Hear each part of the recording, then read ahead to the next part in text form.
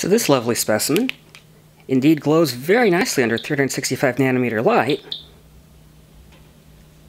And